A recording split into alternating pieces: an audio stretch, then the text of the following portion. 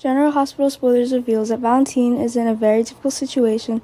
One thing must be admitted is that Victor's plan is too perfect. He has devised a very meticulous plot so that no one can stand in his way again. Victor kidnaps Charlotte, then he uses Charlotte to lure Valentin to Switzerland. Unfortunately, Valentin was trapped and he was detained all along with Charlotte. Valentin assumes that Anna will soon find out about his disappearance and come save him, but in the end, Valentin learned that Anna was arrested by the police. He feels helpless because no one will save him anymore. But Valentin should not give up t- hope too soon because Laura will intervene in this case. Perhaps in the town of Port Charles, only Laura is strong enough to confront Victor. Laura has always been a thorn in Victor's eyes, but unfortunately, he still has no way to get rid of her. Laura learns that Valentin and Charlotte are being held.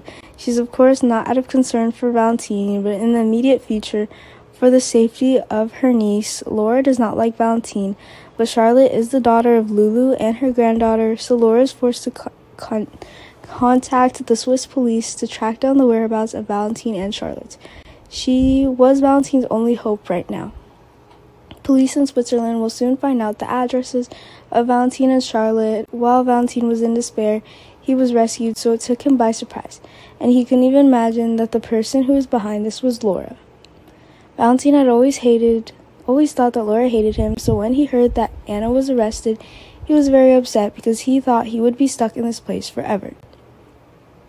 Laura didn't calculate past grudges and saved both him and his daughter. Now they will return to Port Charles together and solve many problems here. If Valentin returned to Port Charles, the troubles would be resolved quickly. Anyway, Anna is being blamed by Victor, so sooner or later the truth will be exposed Victor was, of course, furious that Valentina was rescued so quickly. Laura acted so quickly that Victor couldn't keep up. Victor's perfect plan was suddenly destroyed by Laura, so Victor couldn't allow, couldn't swallow this anger. Does he want to send someone to destroy Laura? This is entirely possible because Victor has always hated Laura, but keep in mind that Laura is not an easy opponent to take down.